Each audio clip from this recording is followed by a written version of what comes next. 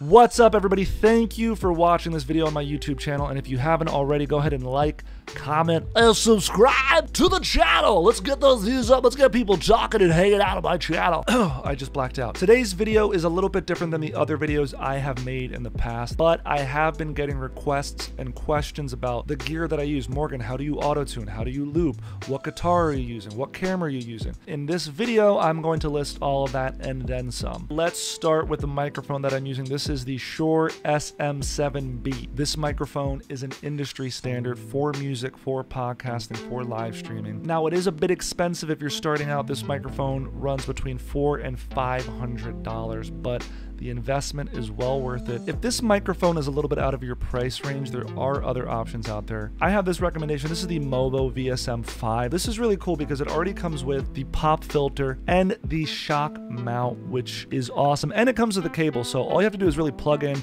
play. You get a nice, crisp, clear sound. This is going to be great if you're doing any music vocal recording. I want you to hear what it sounds like. We are going to do a little sound test. I'm going to put some reverb on and just to hear what a vocal run sounds like on that. Ooh. Woohoo!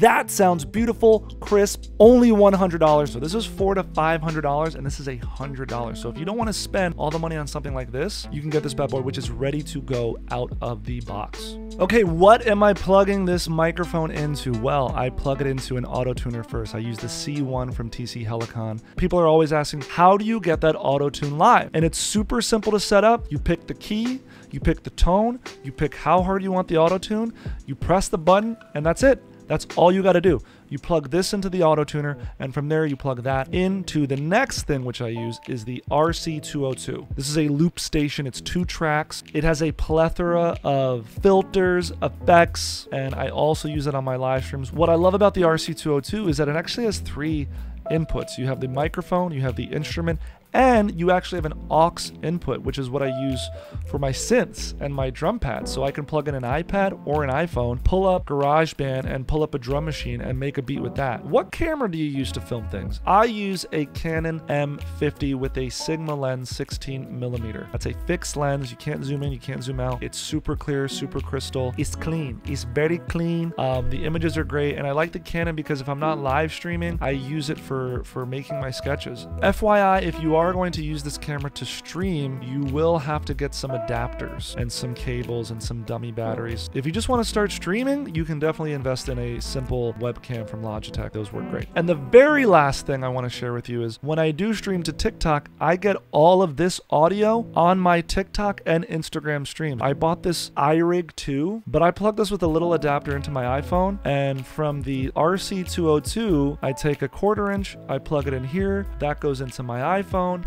And then I could stream to three different platforms, including Instagram or TikTok with professional audio. And that's it. That is what I use. Everything you saw in this video is linked below. If you have any questions, just leave a comment. Also, if you want to see more videos like this, I can. I don't normally do this, but it's the great core of 2020. There are no rules. Anyway, that's the video. Guys, I'm Morgan Jay. Watch everything else on this channel. All right, and I'll see you in the live stream.